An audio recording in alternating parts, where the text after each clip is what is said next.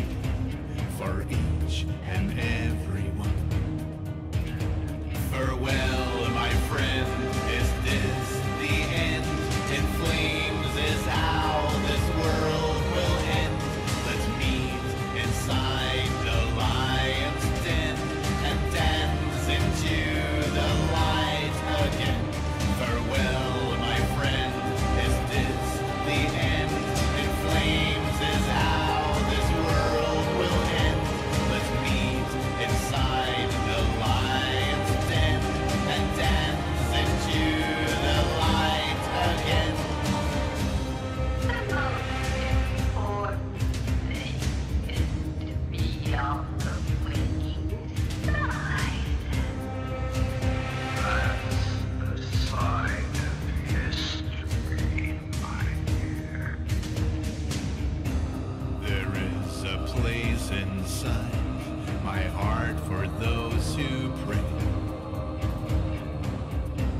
A place of anguish, desperation, and decay.